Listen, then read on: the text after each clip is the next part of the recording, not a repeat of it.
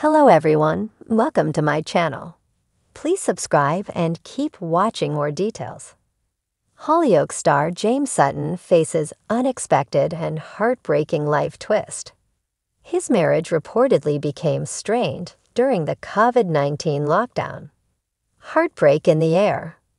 James Sutton experienced an unforeseen development in his life as he sadly split from his wife Rachel Collin. The Hollyoaks actor, 40, best known for playing John Paul McQueen in the Channel 4 soap, has described their divorce as very sad but amicable.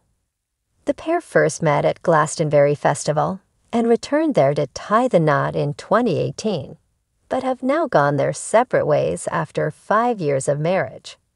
James told Mail Online of the split. Rachel and I had a wonderful relationship and marriage. It was very sad but amicable, and we remain friends. Their marriage reportedly became strained during the COVID 19 lockdown before the couple decided to quietly divorce. A source told The Mirror James and Rachel have enjoyed a really happy marriage, but as many couples can relate to, their relationship became strained during lockdown. James is in the public eye, whereas Rachel prefers to be out of the spotlight.